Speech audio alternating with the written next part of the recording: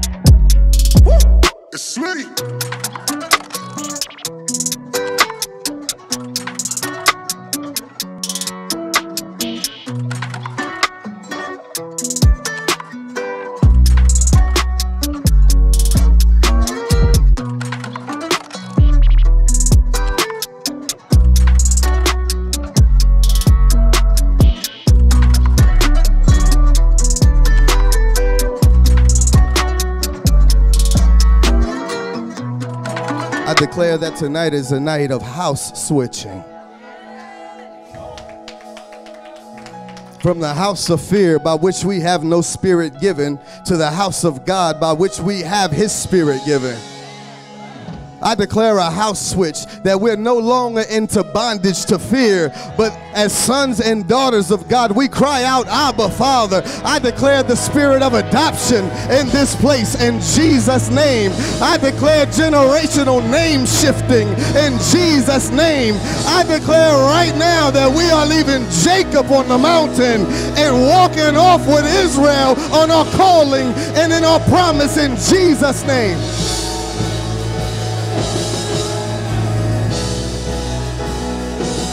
Somebody yell freedom. In Jesus' mighty name. Somebody shout amen.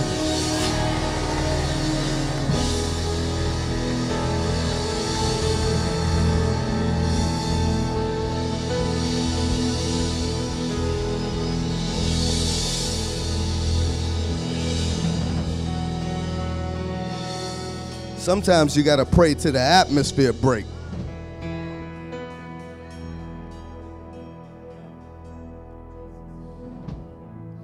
Did y'all feel that?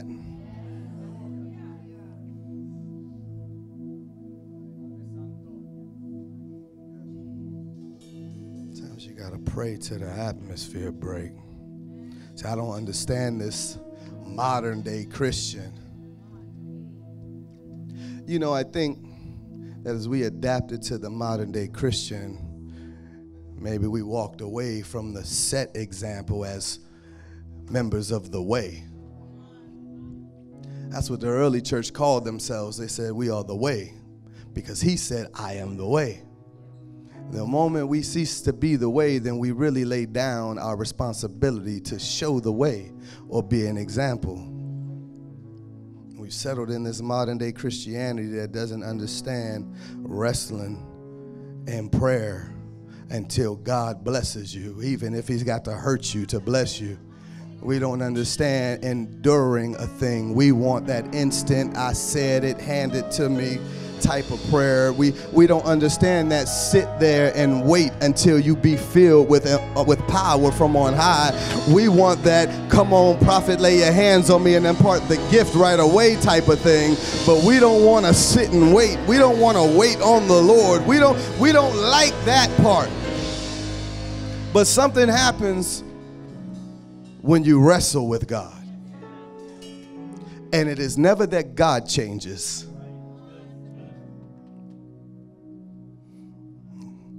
Some of us don't like to wrestle with the Lord.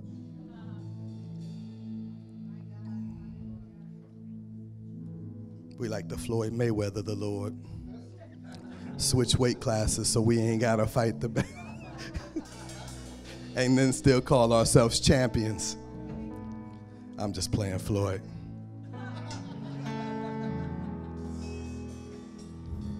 If you have your Bible, we're going to be uh, reading some verses we've been reading for the last couple of weeks. Uh, I think uh, this is how we started this. I'm going to go Exodus chapter 20, verse 1 and 2, and then I'm going to go to Galatians 4, and then I'm going to go to Romans 8.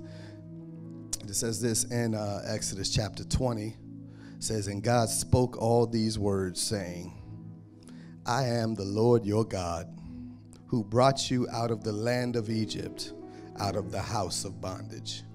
And he goes on to give the Ten Commandments. I just want to point out that God has brought us out of the house of bondage. It's amazing that God categorizes the house of bondage, but you have so many who heard these words and desired to go back for a salad. Leeks and onions. I don't mind slavery if it feeds me well. That's what they were saying. I don't mind bondage if it pays me well. Galatians 4, chapter 1 through 6 says, Now I say that the heir, as long as he is a child, does not differ at all from a slave, though he is master of all, but is under guardians and stewards until the appointed time by the Father.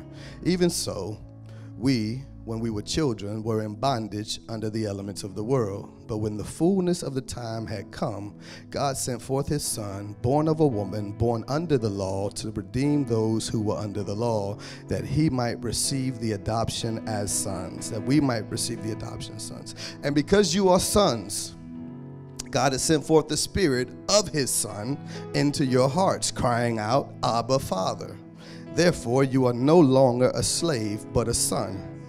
And if a son, then an heir of God through Christ. In Romans 8, chapter Romans chapter 8, verse 12 through 17 says, Therefore, brethren, we are debtors. Uh, that said, yo, we broken owe a lot. hey, we owe a lot. We are in debt, but not to the flesh to live according to the flesh. We don't owe the flesh anything. The flesh has been paid. We don't owe the flesh nothing. For if you live according to the flesh, you will die. But if by the Spirit you put to death the deeds of the body, you will live. For as many as are led by the Spirit of God, these are sons of God. For you did not receive the spirit of bondage again to fear but you receive the spirit of adoption by whom we cry out, Abba, Father. The Spirit Himself bears witness with our spirit that we are children of God, and if children, then heirs, heirs of God, and joint heirs with Christ. If indeed we suffer with Him, that we may also be glorified together. Amen. You may be seated.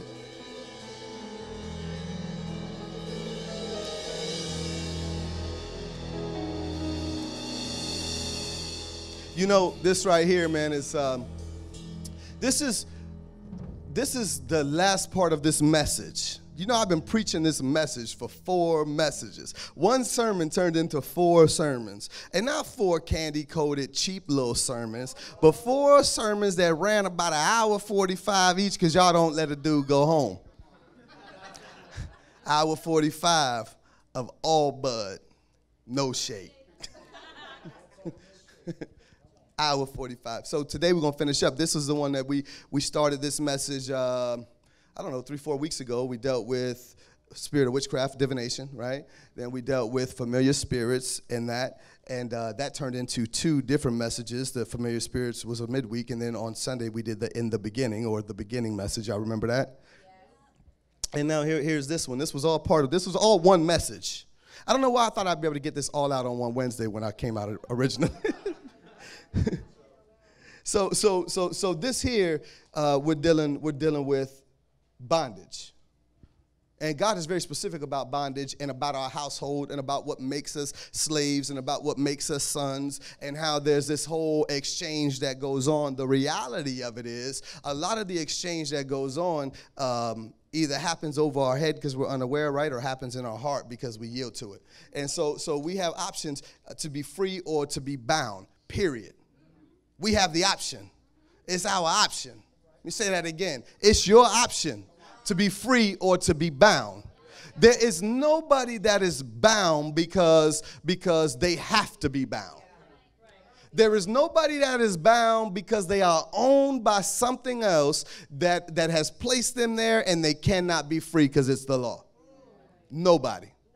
That's that's physical in the physical realm here, at least here. I mean, there is still human slavery in the world, um, but that's also spiritual. If you are bound, it's because you want to be. Because it's easy to switch houses. Uh, I love the way I love the way that that is said right here in Romans eight. Paul says it about God. Here, here's the thing. Well, you you could say, well, how is that? Uh, how is that true? The devil made me do this. The devil didn't make you do nothing. Let me tell you who, who, why you can't be stopped. Is is it says here that the Spirit Himself bears witness. Like like who who is it? If you go down this this this whole uh, uh, chapter, it goes into it goes into who is it who could bring a charge against the elect? Because the Spirit Himself bears witness. Who is a witness over God's witness? What story have you heard over God's story that tells you that freedom is not for you? And it can go from it can go from what you look like to, to, to sex to race. I mean the woman at the well said uh, what do you have to do with me? You're a jew i'm a samaritan. She, she, she started dealing with all of her inner politics or it can go right to the church because the church is the place that gets a lot of people bound up the most we teach a lot of rules and a lot of doctrine made off of a lot of opinion or a lot of interpretation. And then we teach very milky, soft candy, cotton words that don't bring anyone freedom. The reality of it is, if you're going to know the truth because you keep His word, and that truth makes you free, so long as I don't teach you the truth or His word, I don't teach you freedom. And I just become a worker in the slave trade. Yeah, I said it. And and you just become a worker in the slave trade. And so so what happens is the spirit bears witness um, with us. I love how that woman said uh, about about worship. She said she said to Jesus, "Do we worship on this mountain or this mountain?" Her bondage her bondage came from her worship experience. Uh, so let's deal with the house of bondage because he said, I'm the one who brought you up out of the house of bondage. So I'm going to start like this come up out. Look at your neighbor and say, come up out. Look at your other neighbor and say, come up off of me with all of that nonsense. You're, you're too close and your breath stink. so let me just let me just point out here that bondage, bond, there's there is spiritual bondage that we're dealing with. Bondage is not um, it's not not uh, something you can see these days with chains or handcuffs. It happens in the spirit. That there is a spirit that wants to put you into bondage, right? I mean, or the Bible wouldn't say it. So if there's a spirit whose sole purpose and function is to put you into bondage, how do we prepare for it? How do we even know to look for it? How do we know what we're looking for in a society that tells us this is this is just your frame of thinking or your frame of mind or a result of your actions or this and that? Now, first, let me say there are a lot of things that are a result of your actions. Stupid is as stupid does, said the prophet Forrest Gump. But but the reality of it is, um, at the end of the day, there is also a spirit that works with your ignorance and works with you to try to bring you into this bondage. The way that James said it is, is by a man's own lust that he's dragged away and enticed. And that the, the end game of the enticing and the dragging away, because, because this happens, he has the desire, he's lusting, and then he's dragged away, and then he's enticed to stay. What happens in that dragging away and the being enticed to stay is an intimate relationship, and then a pregnancy, and then a birthing, and then a growing up and a murdering. This is what the scripture says. It says, it says that, that when you conceive sin, right? Then you eventually give birth to it. And when sin is fully grown, it gives birth to death. It's incestuous. It's, it's demonic incest because the, the, the sin gave, uh, something gave birth to sin, and then that sin grew up and had a relationship with you, and then y'all had a child, which was death. It's inbreeding of, of, of, of demonizing, it's inbreeding of oppression. I- I- this, is, this is not something new. This is a child you birthed that you became intimate with that killed you. James was Jesus' brother, so his words is strong. Here's, I'm gonna do it in a minute. Uh, one, one weapon of bondage that we see, right? Actually, it's three. I'm gonna give y'all three weapons. I'm gonna give y'all a couple. I'm just gonna, I ain't gonna tell you how many I'm gonna give you. I'm just gonna give it. How many y'all want it? All right. Got to give y'all eight weapons because Pastor Paul talked on some of our weapons last week, and, um, and this is what we need that weapon for. One, one, one, one, one of the weapons is deception, one of the weapons is ignorance, one of the weapons is strongholds. All of these belong to you. I don't know where I'm gonna walk through it. I'm gonna walk through it. Deception. Deception. Deception is, is, is different than lying. Y'all know that, right? Being deceived is different than being a liar. When someone lies to you, they have malintent, or when you lie, you have malintent to cover up the truth. You are intentionally trying to cover the truth with something that's not true to get out of something or gain a benefit. That's, that's a lie, right? Deception is different. This, being deceived is when you actually believe the thing you're saying, but it's just wrong. You believe it to be true. So you're not lying, you have no intention when you're saying something to somebody because you think what you're saying is actually true. You believe your own story, you drink your own Kool Aid. That's what deception is. Deception has two categories. Deception has two categories. One is that you could be deceived by others. Other people deceive you, tell you something, you believe it to be true, and you walk into what they say. And then, and then there is self deception. So it, those categories kind of break down like this um, self deception. Um, is when you are, are, are, are, excuse me, someone deceives you, is when they get you looking at something for long enough to change your opinion about it. Check out these YouTube links. You, you spend you spend hours chasing chasing uh, all this Illuminati fodder. Now I ain't got no problems if you be like with the Illuminati and all that stuff, right? Who in the Illuminati? Raise your hand. you know how to catch how to recruit me into the Illuminati in the YouTube comments? I said, man, you're not in the Illuminati. These guys, what are they doing, man? Anyway, this is what they come to. They come down to the comments. Anyway, um, But but I ain't saying nothing about that or not. But here's the thing: there could be lots of truth and historical facts and a lot of the things you're watching. But when you begin to chase them more than you chase God, you have then yielded to them. And you spend hours on YouTube watching videos about the Rothschilds, and you spend no time in your scripture learning about God's child, then we have a problem with our heart because Jesus Himself said, "Don't glory in that, rather glory in this." So, so there's a separation, but we can become deceived by that. We can become deceived by some other idea that somebody planted in us or some religious idea that somebody told us. The Bible says that, that Eve stared at that fruit. You know, the, the, the serpent barely said anything to her. Oh, he ain't really got to, he ain't got to have your ear long if, as long as he can get you staring at what he wants you looking at. A picture's worth a thousand words, they say. So if I can get you looking at it long enough, eventually you'll convince yourself that it's good. As she stared at that, that fruit, the Bible says she saw that it was good for food. And then she saw that it was good for making men wise. And then she saw, like all of this stuff, she just, she, he, he didn't even sell it to her no more. She just looking, looking, looking, looking until, until she was deceived by it. Because um, if you stare at something long enough through the wrong filter, it will change you. Everything always has a spiritual filter, period. There is nothing that you look at that does not have a spiritual filter. I know that's hard to take. And that's because some of y'all don't y'all y'all y'all don't realize that when you don't activate Christ as the filter that you look at something through, that just because you have decided to take that filter off, you don't realize that you have unknowingly put another filter on. We like to think I'm my own person all the time. But no, if the enemy is called the the, the, the prince of the powers of the air, then, then there is illusionary tactics of the enemy to skew what you see. So, so uh, the question then is if there's always a spiritual filter, are we always looking through Christ? Are we? Do I look at everything like I'm looking through Christ? How would, how would Jesus respond to this comment?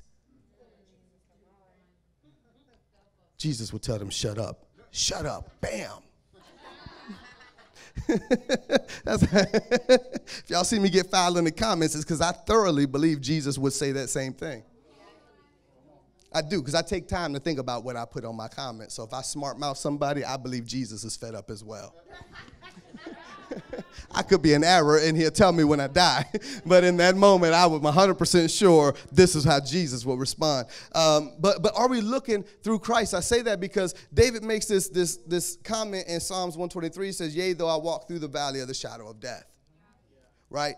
He looked at the valley of the shadow of death through a God filter because because he's looking through a god filter he says i'll fear no evil because you are with me so so when i'm walking through this as long as you're with me, I'm not scared. And your, your rod and your staff is comfortable when I look at it through the God filter. The rod is not comfortable on the back of the fool, scripturally. The Bible says that, that, that the rod is for the back of the fool, or the, the, a child's heart is filled with folly, but the rod of correction purges it far from him. The rod is not an issue of comfort. But when I look at that correction through God, where God disciplines those he loves, then, then that rod and that staff, it comforts me.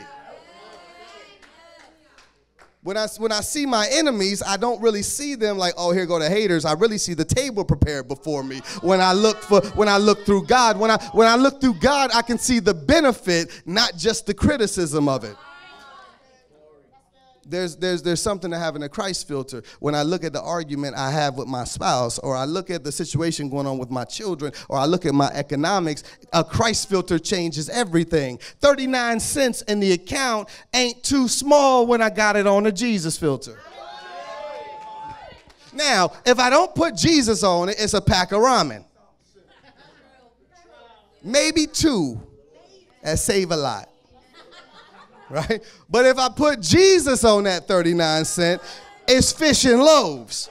It's it's different. It's it's it's it's an opportunity to put a seed of all I had because the woman with the two mites gave more than those who gave in their abundance. And and be not deceived that God is not mocked. That what a man sows, he also reaps, and God meets a need. When I look at stuff through a Jesus filter, if I'm not looking at it through the Christ filter, then I'm looking at it through the veil because everything has a spiritual filter. The enemy.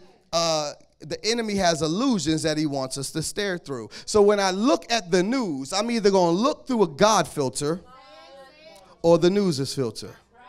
I'm going to look at what's going on in the world through a God filter or through a racist filter. I'm going to look at it through a God filter or through a political filter. Oh, yes, it's quiet in this Baptist church. Yeah, well, I'm coming down your street today. Uh, we either going to look at it through a God filter or we're going to be propag- propagandized, hypnotized, right? We're going to be ventriloquized. I don't know if I made that up or not. It might be real though. Ventriloquized. Just write it down. We'll look it up later. It's a Scrabble challenge. Somebody challenge my Scrabble word. But we have been adjusted to where details and facts no longer matter, to where compassion and lamentation no longer matter, to when it comes down to simple arguments of right or wrong, for red or blue, for black or white, where is Jesus in your filter? I was I was online last night and uh, yesterday evening, and something came up. It was an article of of um, a shooting or something like that. Um, some other information regarding some of the stuff that's going on, and I could not share it. I was restrained from sharing it. I said, and I looked at my wife and I said, I want to share this. I said, but the climate right now. I said, I don't think that it will become helpful. I think it will become ammo. And if we just throw the continue to throw gas on the fire, there's nothing being accomplished right now. So I had to change that and divide the tongue and put up something else. Because you got to put a filter on it. Somebody said put a filter on it. So that's that's that's the, the the when you get deceived, right? That's being deceived by somebody else, but then there's self-deception, right? Self-deception is is is crazy because we one are the biggest fans of ourselves, so we don't ever think that we're getting it wrong or that we would lead ourselves astray. And so when we get into self-deception, it's it's amazing how it works. You know disobedience leads to self-deception. Disobedience leads to self deception. It, it, it's not one of those things that you're like, I'm gonna go out here and live a lie. That's not because you think you're doing right. It's disobedience that leads to it. And it's disobedience usually in the small thing. The Bible says when you hear a word and you don't do it, it says it's like looking in the mirror, forgetting what you look like immediately.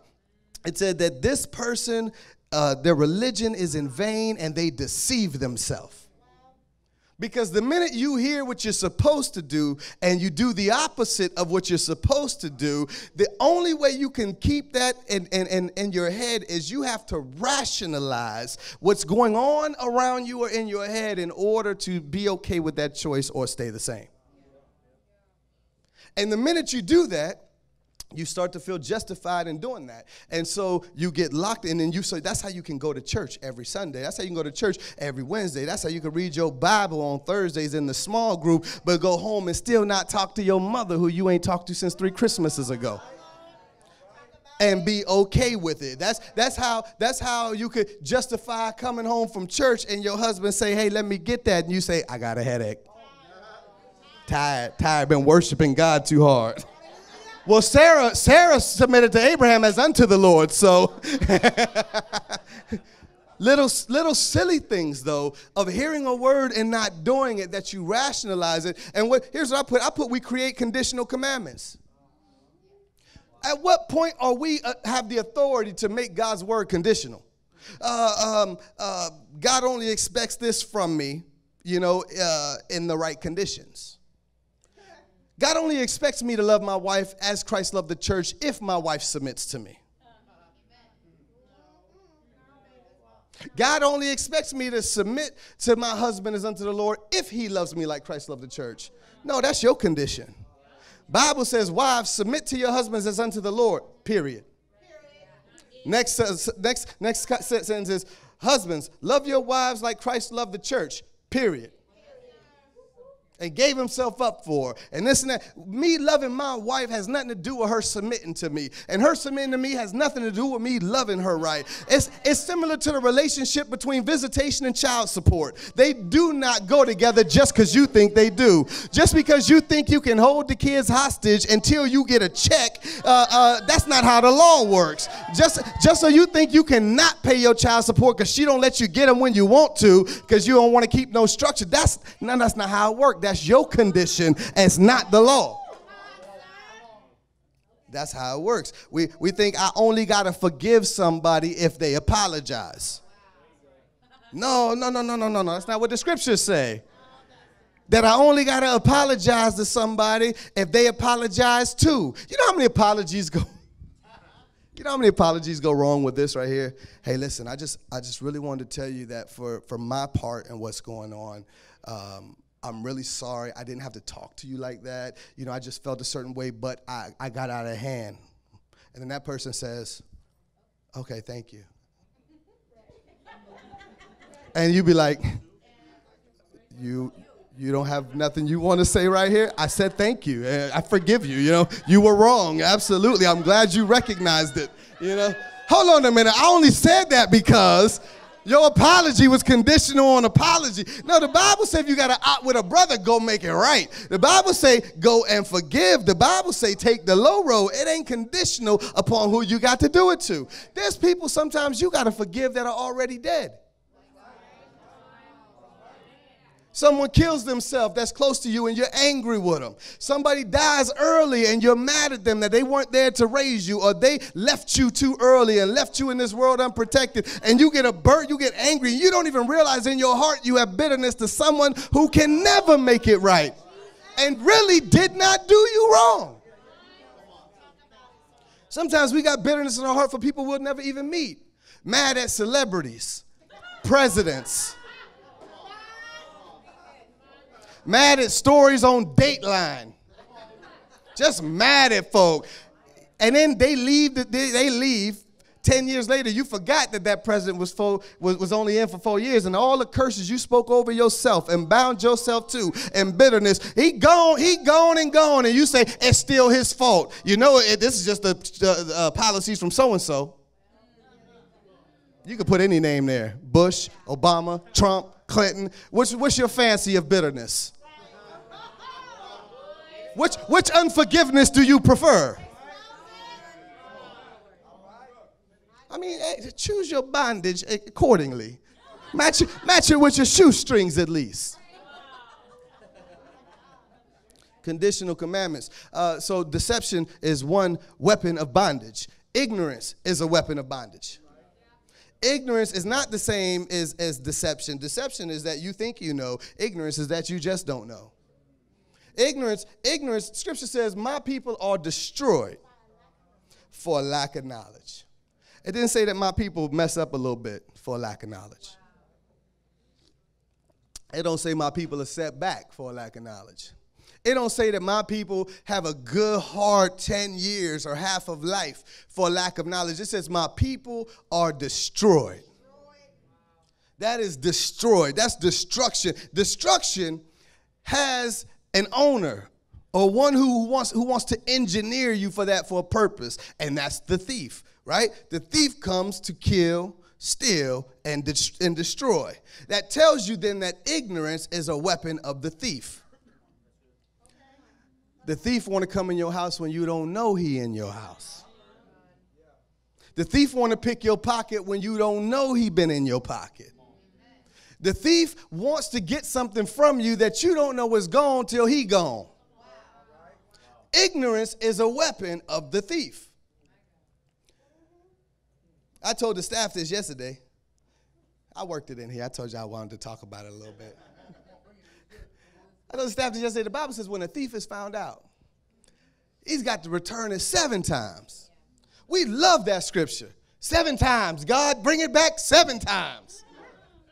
I declare seven times anointing. I declare everything that's been, right?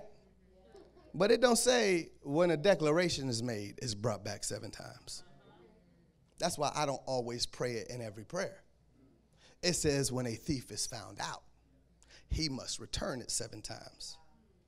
Your declaration without finding out the thief is, is similar to the mother who gets on television and calls to the thief to have compassion on her child and say, If you're out there and you have my child, please bring them home. That means that the abductor has not been found out and you are trying to plead for something to come back to you that you have no access to get to.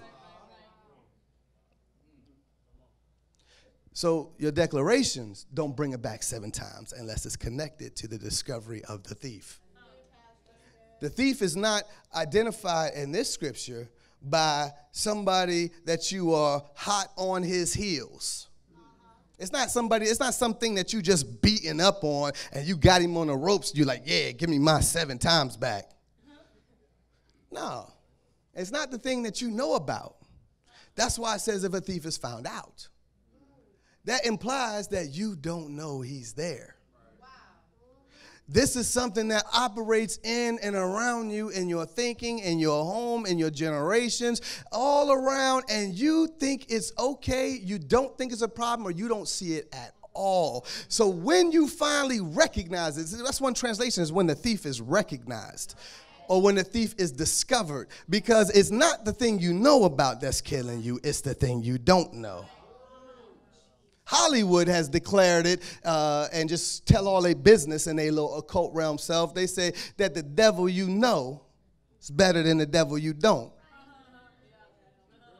Because the one you don't know is killing you. So, so it says when the thief is found out. So it tells you then that something is operating in stealth, something that you don't know that is robbing you, something that is picking your pocket, something that, that you wonder why you take two steps forward and four steps back and you can't figure it out. How come there's never any progression? And you start working on this and praying that, but that didn't change it. And you work on this and it didn't change it. And here's how it deceives you long term. You come talk to the pastor, pastor say, hey, you need to do this, do this, do that. I already done everything. No, you are deceived. You ain't done nothing. That's the problem. And when the thief is found out, you have to discover that thief because ignorance is a tool of the thief and destruction comes behind it. It says that my people are destroyed because of a lack of knowledge. Watch this though, because they reject knowledge. Not because knowledge is lacking. They don't lack knowledge because knowledge is lacking. They lack knowledge because they reject it.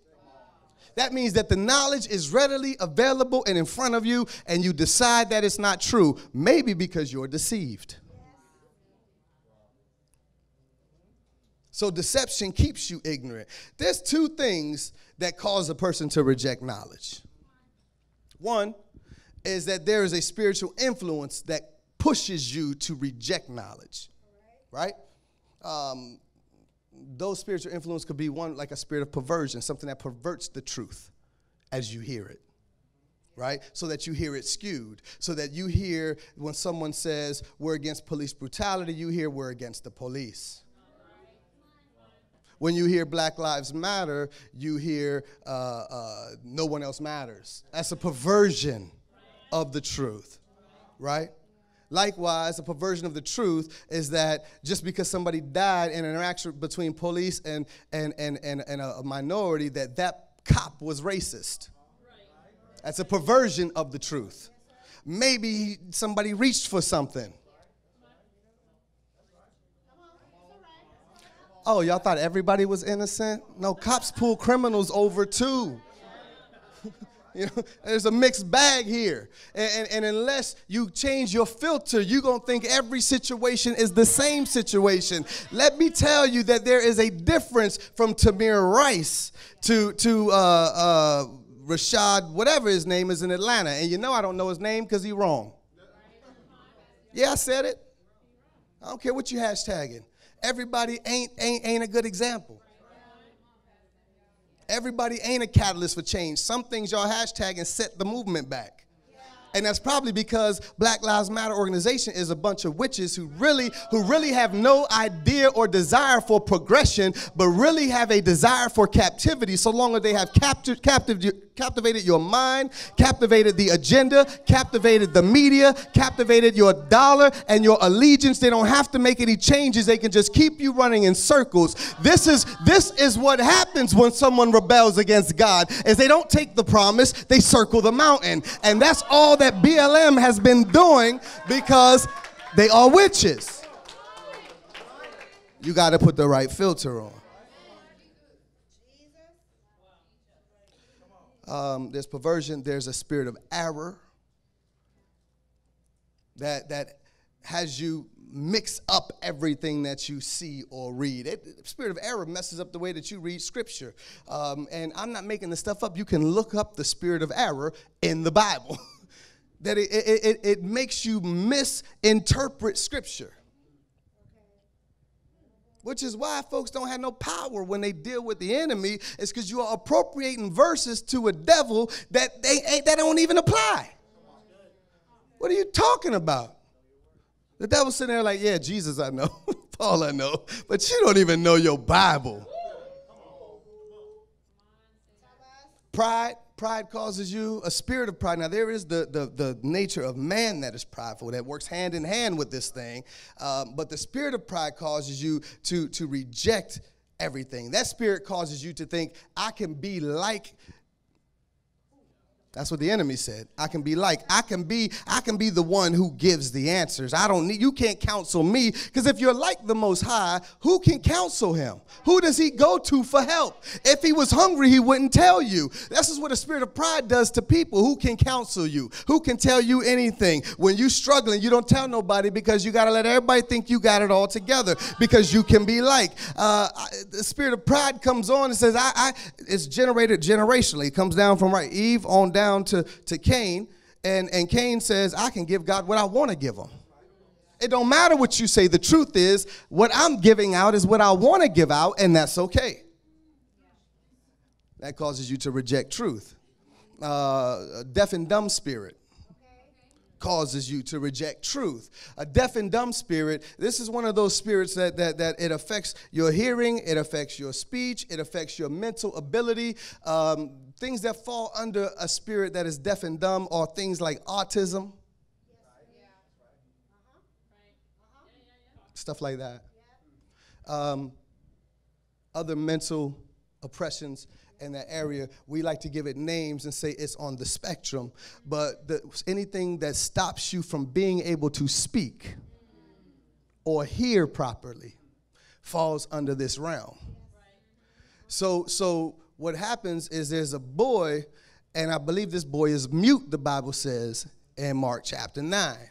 And when he's brought to the church, nothing can be done with him. You want to know what I think? Now, I don't know. This is me talking freely. That they brought that boy to church, and the church was more interested in what the psychologist said than what the scripture said, and was scared to deal with them in deliverance in the complete manner because they had to tippy toe between deliverance and casting out demons and not offending the therapist or the parent or the prescription because somebody said this is normal and you can manage it and it's called this. And the moment you have a diagnosis in this realm, it's hard to get deliverance in that realm because now the, the one who is offering deliverance has to battle past your faith and your prescription, has to battle past your faith in technology, your faith in the diagnosis. And so long as you believe in that white coat more than you believe in God's word, then you are stuck as the gatekeeper. I can't offer your children nothing that you won't accept. And as the gatekeeper of yourself, if there's no repentance and acceptance, then I can't fight you and fight the devil. So I believe they brought them and they couldn't get nothing done because the church is too scared just because they, na- you know, they name everything now just so you can't pray against it. Oppositional defiance disorder. All that means is they need a whooping. That's all it means. They need a whooping. Then they won't defy any opposition again. It'll be, it won't be, it, it'll be in order. It won't be a disorder. This is, but but once they name it and they'll give you SSI for it, you won't even ask God for freedom from it because you can't serve both God and money. Bondage. This is one of the spirits that causes you to reject knowledge. You reject the revelation because because you enjoy the benefit. So you choose destruction with a paycheck. Deaf and dumb spirit causes you, you don't even want to hear it. That's why some people you talk to, they can't hear. That's why Jesus said, He who got a, a ear to hear, let him hear it. This is why the Bible says, Be quick to listen and slow to speak. This is why the Bible says, Give me the ear of the learned and the tongue of the learned. This is why the Bible says, Incline your ear unto me. It's, so so there's so much to hearing that if the enemy can cause you to be deaf to the things of God, bondage. Uh, a spirit of lies uh, causes you to reject truth or reject uh, revelation, and that's easy. It's just because you've been lied to and you believe a lie, right? We ain't got to walk into all that.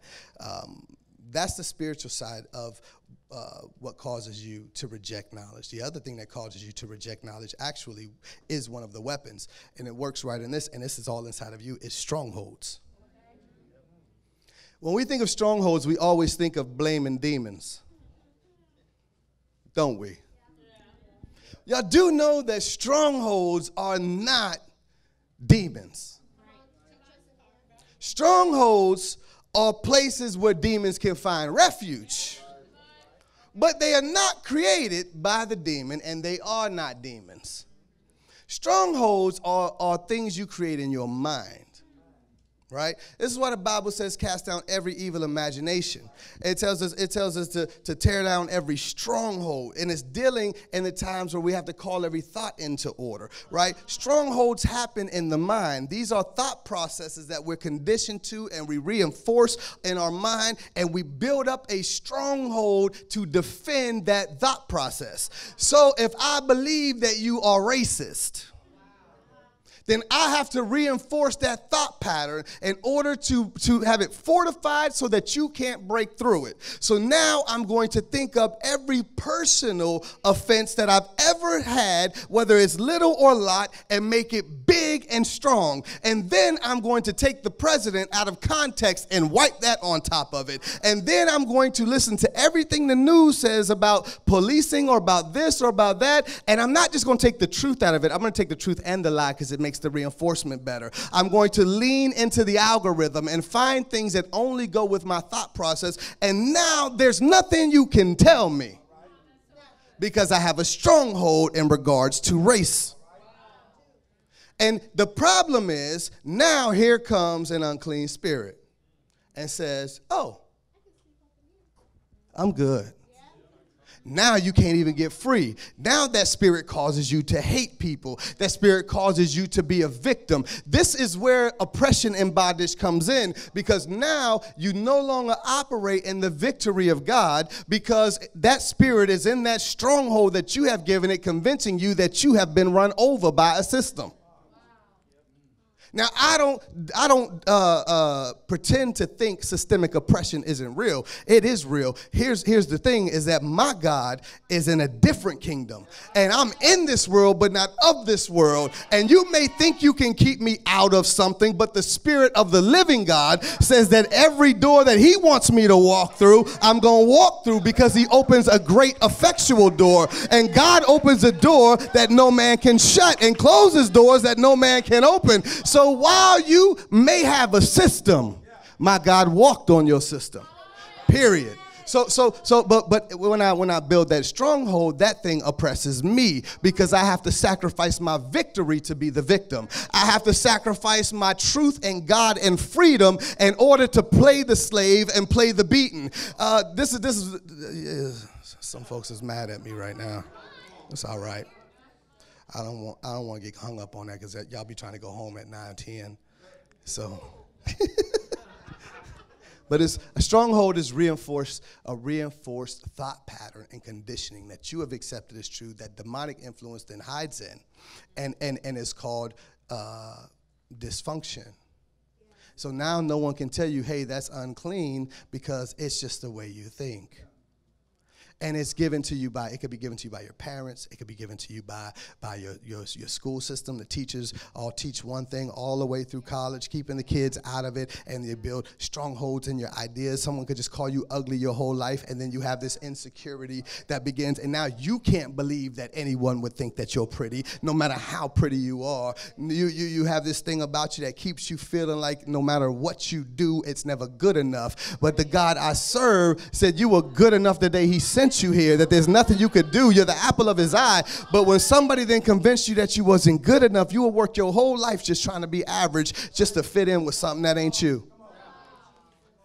it's the stronghold. It's the stronghold that comes in, the stronghold of poverty that comes in and, and, and has you spend your money foolishly. And you just think you better spend it when you get it, this, that, and the other. And then what happens is the spirit of lack moves into that stronghold and steals it like, like a, you putting your money in a bag with holes in it. This is what happens is it works hand in hand. Uh, it's, it's a welcome home party to the enemy reinforced thoughts. And it comes from being deceived right? Uh, you stare at that same picture long enough and you start building something and it becomes generational and familiar spirits. There's a reason and, and you can't tell nobody that they wrong because mama did it like this. Grandmama did it like this. It's got to be right right? Um, there you go. And then when you uh, if you're watching online that was ariel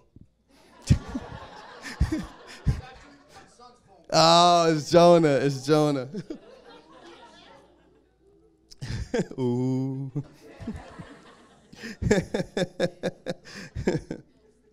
I'm sorry. It was Pastor Ariel's son Jonah's phone. See, we can't get we can't get caught up in the stronghold of what you was yesterday as who you always gonna be. No, when God shifts the thing, that'll preach. That'll preach right there.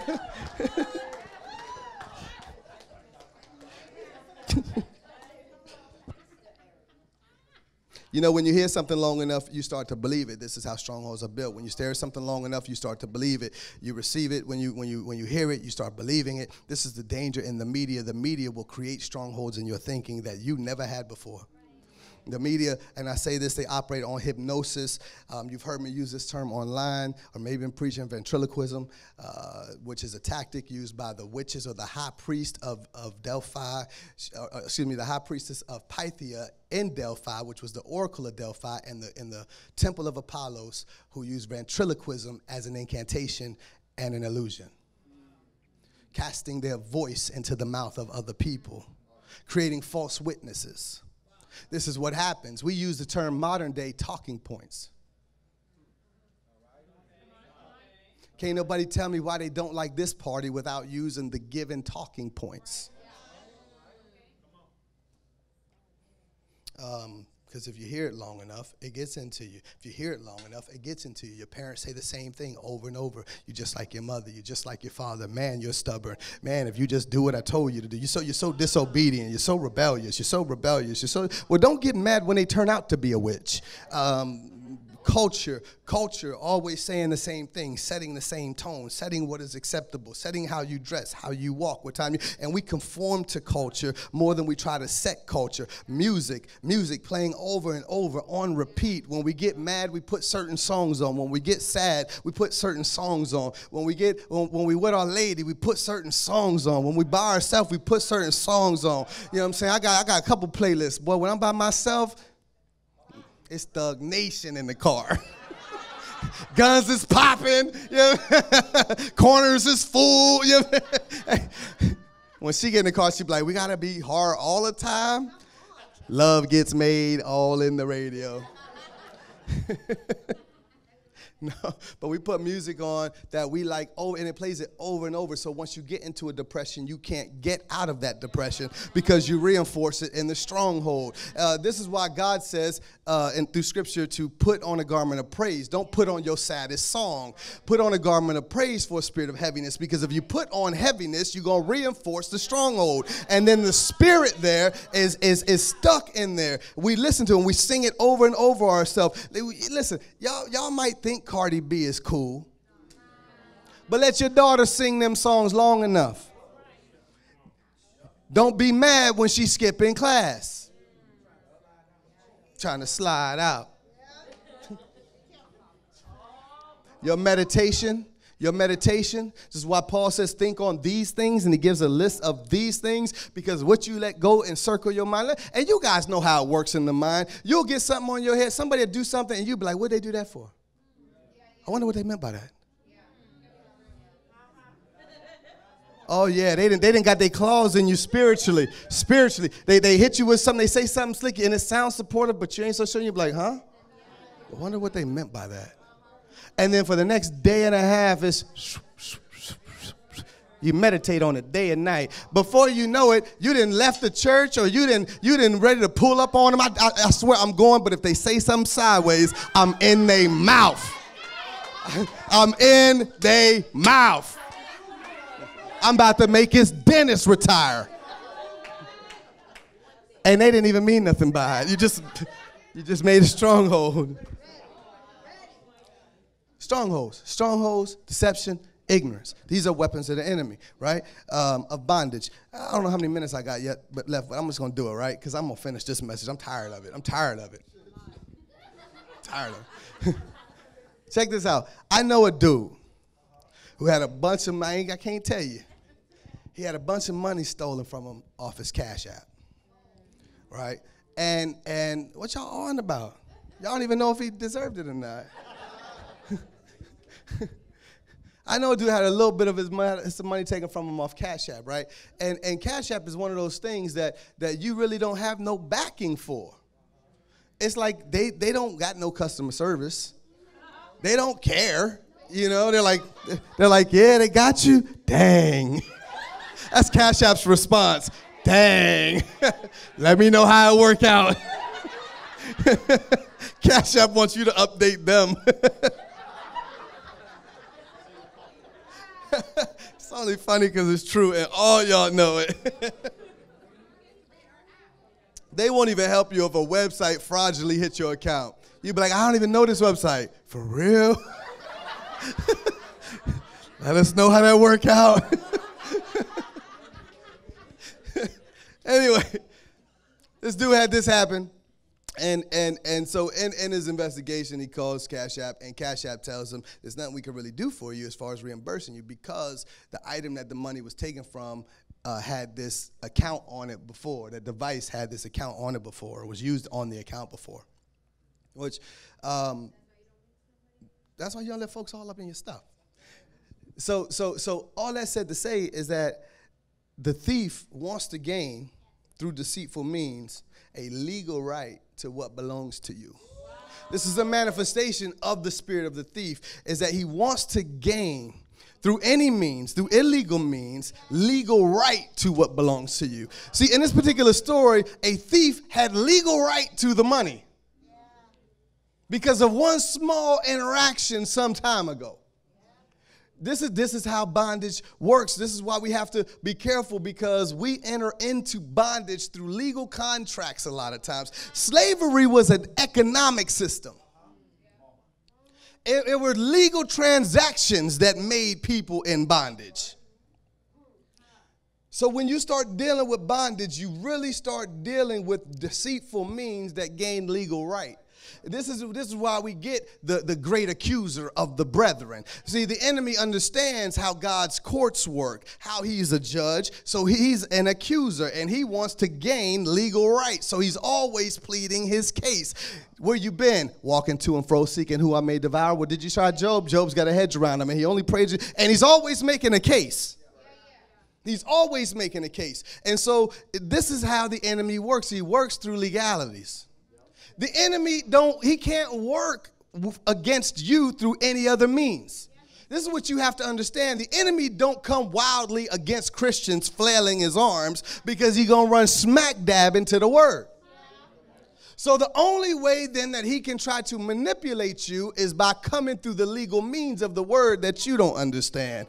Eve, did God say you couldn't have none of these trees?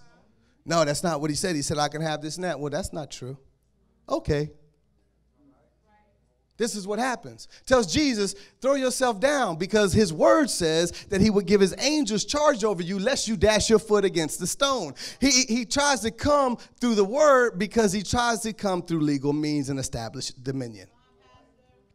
Uh, it's fraud. it's identity theft. This is what he wants. He wants to take your identity for himself. It is it is robbery. Robbery. I mean, the thing about robbery it- that, that, that wants legal means to the money. If I rob you, if I put a gun in your face and take the money out your wallet, put it in my wallet, walk away, take my mask off because I left the store and I don't have to wear one out the store. Oh, y'all thought it was a robbery mask? No, it was a COVID mask. I took my mask off, drove to the next store, went in the store, put a soda on the counter, opened it up, and took the dollar out my wallet that I took out your wallet. Put it on the thing, and they're gonna take it as a fair exchange and a legal transaction. Even robbery seeks to take your stuff and gain legal ownership of it uh, because nine tenths of the law. Ownership is nine tenths of the law. Um, the enemy uh, is in the scamming for our business. Uh, some of the contracts that we enter into in the spirit, we forget the old saying that the devil is in the details, right? Y'all know the enemy needs an access point, though. This is where the contracts are created because the enemy needs an access point. This is what he tells God about Job God, I need an access point. There's no way for me to get to him. I can't get to him. I can't just blow through that word that you got around him. I can't just kick through that worship that he's offering up to you. I can't just get to his house where he's covered in prayer. The blood of Jesus is all around him. Angels camp round about him. What you want me to do? I ain't got no access to him. God says, okay, I'll take that off. I'll give you a little access. But sometimes we give the access. We ain't surrounded like Job is surrounded.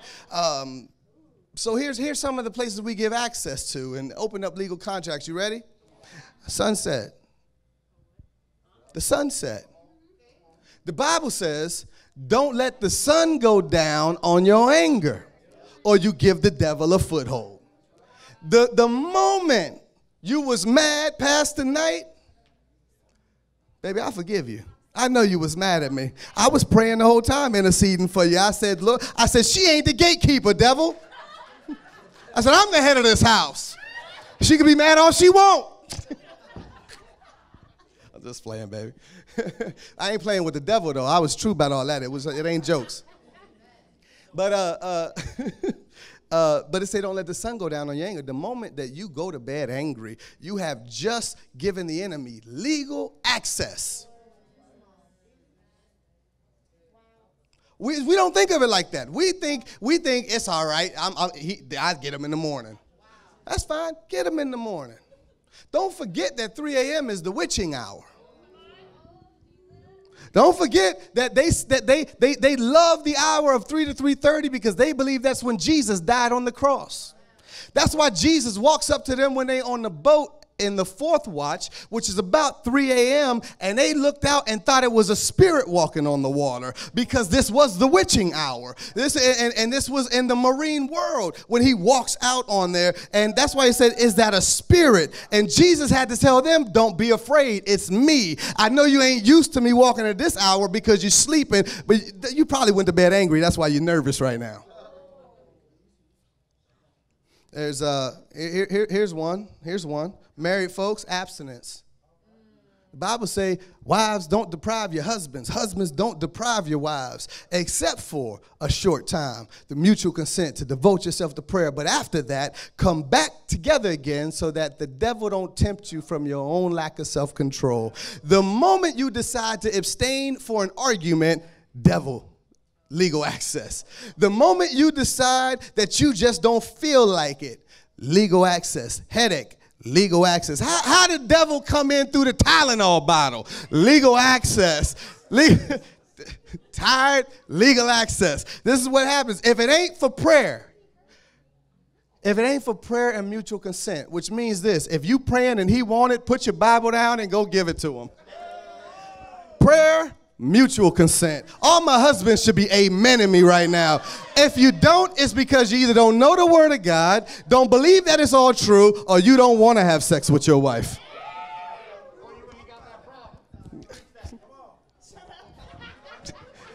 Pastor Ariel said, or you ain't got that problem. Chadi, you ain't never had a headache? No, I'm just playing. I'm just playing. I mean, Pastor Chadi, she heals and she ain't got no headache. I ain't no no no no no. We got we online. We online. Sit down, sit down, Pastor. Sit down. We online. if y'all was in here, boy, we having a good time. All right. Short time by mutual consent. Watch this. And not just because y'all agreed to not do it, but for this sole purpose to devote yourself to prayer. Watch this. Short time though.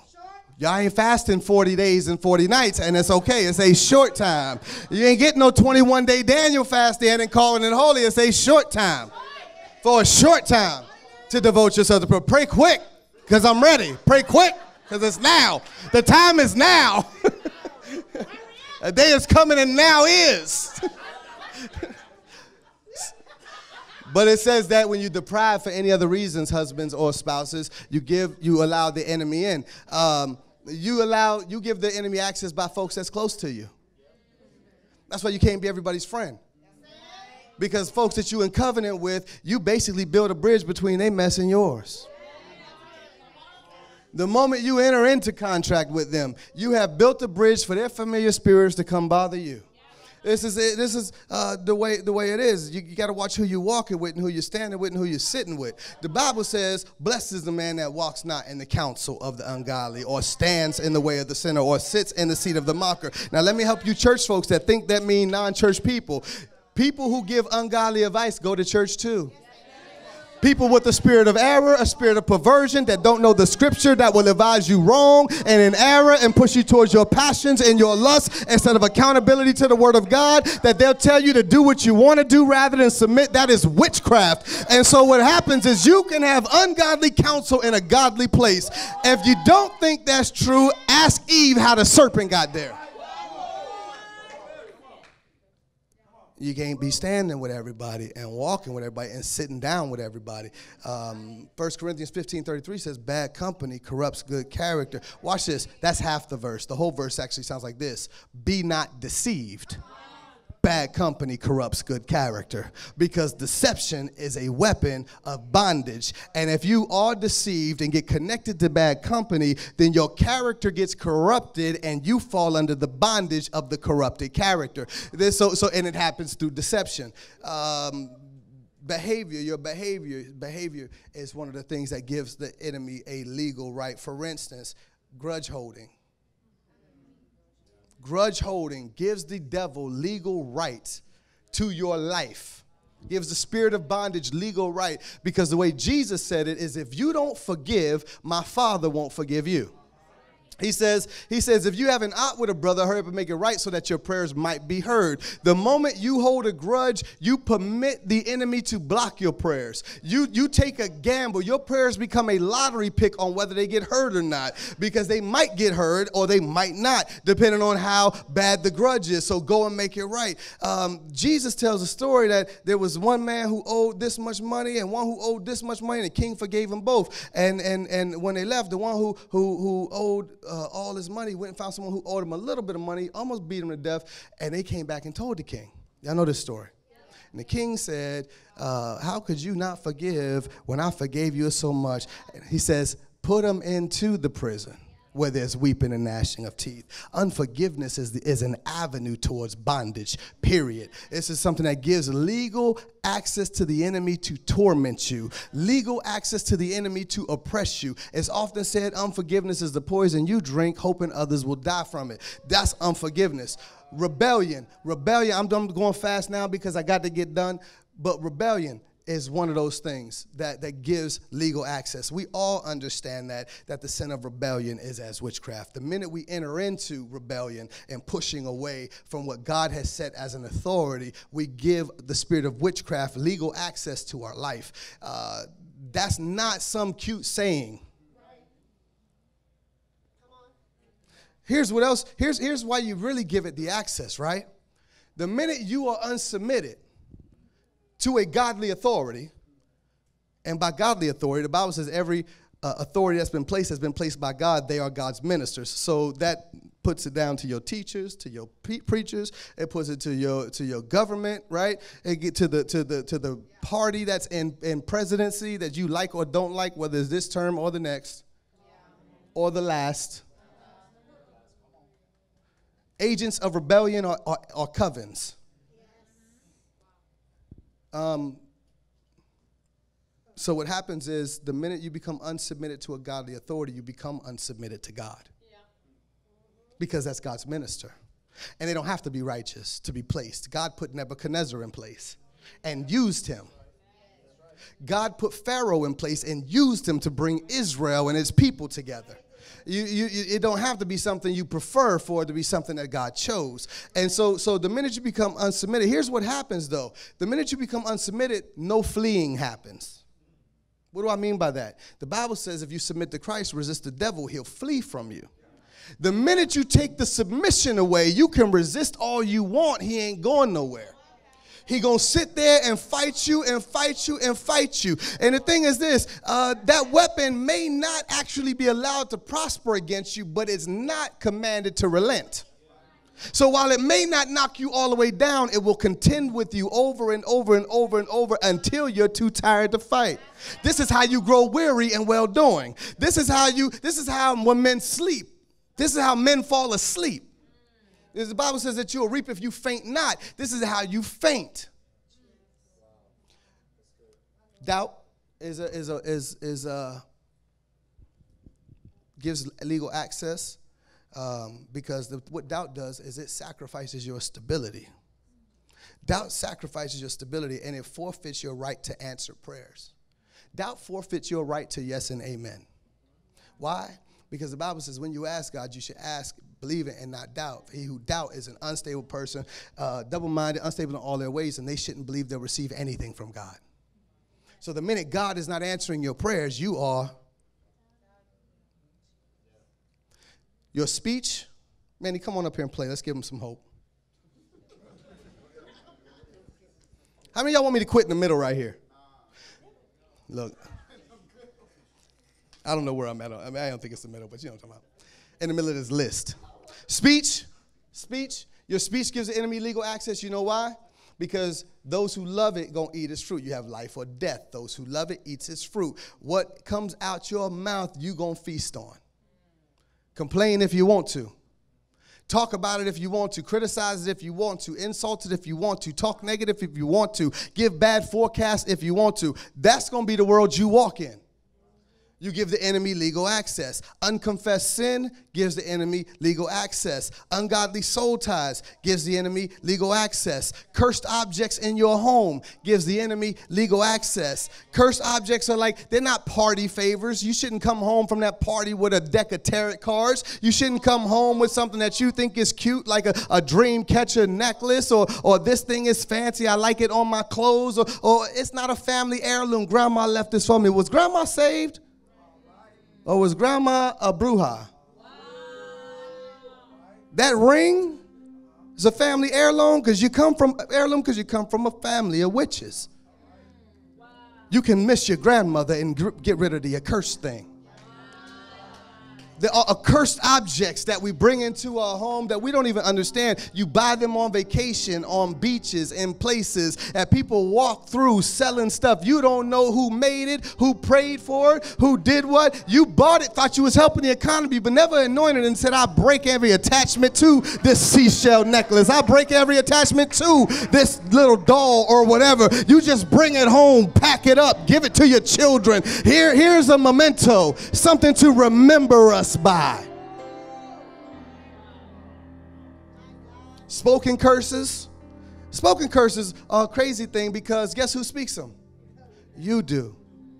The devil can't curse you. The devil can't curse what God has blessed. No witch can say anything over a believer that has any power. They can throw their chicken bones, throw their white dust, put their dead animals down. You, you could have saved that budget, bro. You could have ate that chicken and put that salt somewhere else. I, I don't. You didn't wasted your gas driving over here. Thought you was doing. That's stupid, man. Here go ten.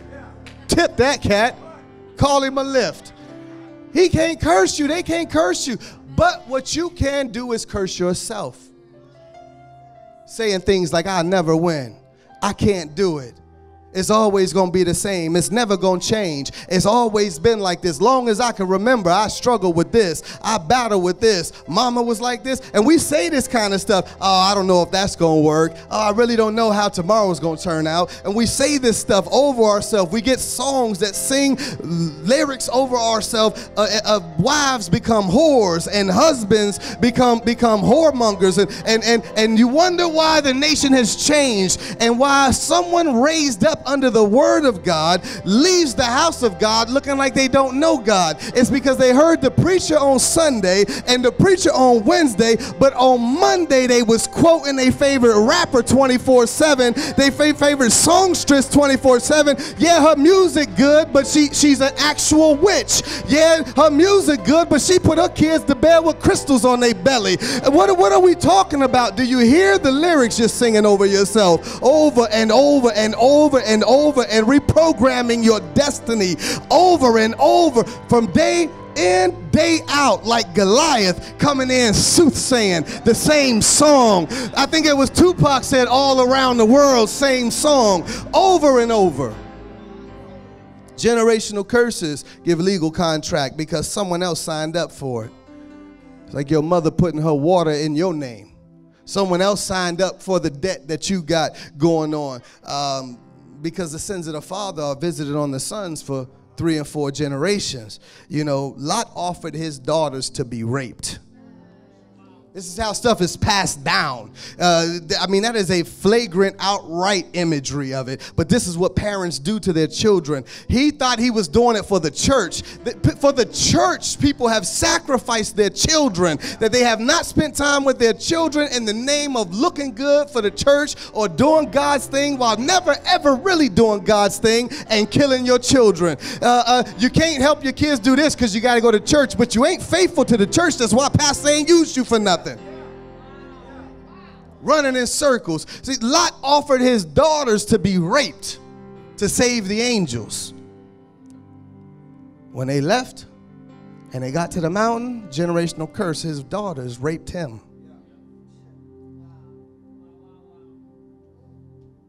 And created an entire people based on incest. Unholy vows.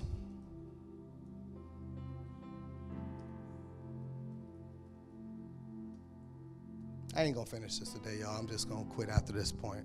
Ain't no way I can finish this. And I see some of y'all dozing off, so it ain't like normally. Y'all normally excited.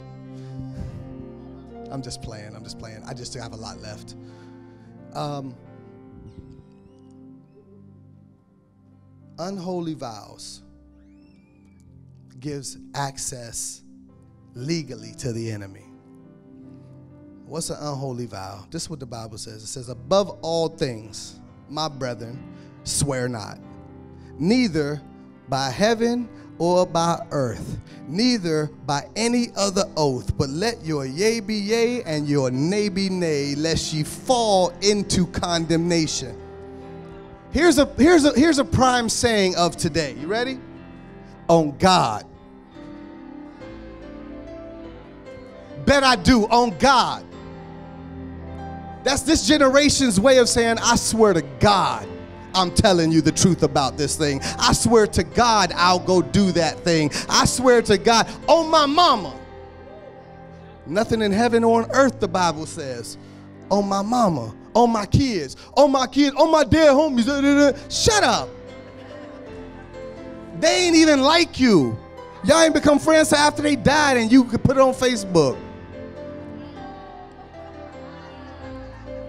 Got one picture from the third grade. You asked for that one too. Yo, take a picture with me. Now y'all homeboys. We swear on everything. So I tell my kids, no promises. They say, Dad, can we just no promises? I'll let you know. I let my yes be yes and my no be no. It says, it says that if you swear on anything else other than yes being yes and no being no, that you fall into condemnation. What do you think you fall into when you say something and then say on God and you was wrong because you was deceived? What do you do when you when you threaten somebody? I'll do this on God, but God know your heart, and you soft as cookie dough. And you really just hoping that that saying intimidates them, but really on God you wouldn't do it, but you put it on God, and now you're gonna be hung by them words. Because you have given the enemy legal contract. Little sayings like, This is my best friend forever. Unholy vows. Some of y'all put best friend forever with people y'all don't talk to no more. But that little three letters gave their familiar spirits bridges into your marriage, bridges into your well being. A BFF you ain't seen in 20 years, but you made a vow with. Bible says this, and I'll end with this because I got a lot going on here. I was going to tell you how to beat all of that. I was going to teach you how to beat all of that. I was going to teach you how to cast the devil out. I was going to tell you uh, how to deal with the strong man, but we have to do that another time. Y'all ain't got it in you. I promise you, y'all ain't got the endurance I got. Uh, I can see it for another hour. Anyway, let me just let me just end with this. Where was I at? I was up here talking junk. Ah, all right, here we go. Here we go. Bible say this. Give no room to the devil. All of these vows, all of these uh, actions that we can do that give the enemy legal access. The Bible warns us give no room to the devil. Give no room to him, which means all of these things that have given legal access per scripture, we're not supposed to do them and give any room. When it says give no room, the implication is make no residence for. Don't let him move in. Don't make room for him. If your life is crowded with the things of God, don't move them out of the way to make space for him to be there. Uh, don't make no empty space for him because when he come back and he find it empty, he gonna bring seven brothers. Now that little bit of room you made became a lot of room, and in order to make that much room, you got to throw some God things away so that you can fit some enemy things in, and he has legal right to it because you made room for it. When the Bible tells us your gift makes room for you. Scripture says your gift makes room for you. That tells me then if we are giving room to the devil, that my room giving is, is attached to gift giving. If, if, if my gift makes room for me, room giving is attached to gift giving. So if I make room, for instance, the one woman said, I perceive this is a man of God, I want to make a room for him. And she put a bed in there and a table that she it was a gift. Her room giving was attached to gift giving. That tells me then that if you make room from, for the devil, then that implies you have accepted a gift or a payment from him. So this is how the legalities work is because you have accepted a benefit of the sin as payment for the for, for the presence. You have accepted a benefit of that of that sinfulness as a benefit for his residing. This is how bondage begins. And I'll finish this another time, maybe next week, because I got too many more pages there. Tomorrow, next time we'll talk about breaking all of this stuff. You know I mean? How to break through and free from every contract, every legality. Talk about the, the ultimate final blow of bondage, which is not these subtle ones, but the outright warfare with the strong man. We're going to deal with all of that. And uh, y'all make sure y'all come ready to fight, all right? Father God, we thank you for who you are. Father, right now in the name of Jesus, I bind the hand of the enemy. I bind the hand of the enemy. I bind every work of bondage in the mighty name of Jesus. I command it to be muted and still and powerless until, God, the finishing of this word in Jesus' name, that your children could hear the full revelation, seek the full freedom, God, and that they could evacuate these things from their life in Jesus' mighty name. And I declare between now and them that they are held safe in your hand, provided for by your spirit, protected by your blood, standing on your word in Jesus' mighty name. Amen. Come on, Pastor.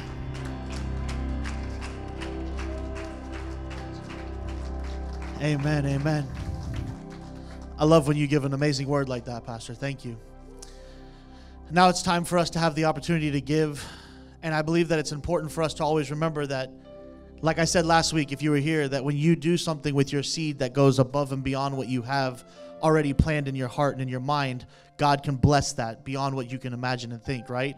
Don't give a stronghold and a bondage to, I need to hold on to my money right now. When you do that, God can't release a blessing over you because you won't release what's His already. So put that in your heart, put that in your mind. Consider right now what should I give cheerfully and not holding it back, thinking I need to eat this tomorrow when God's about to pour out on you a blessing. Amen.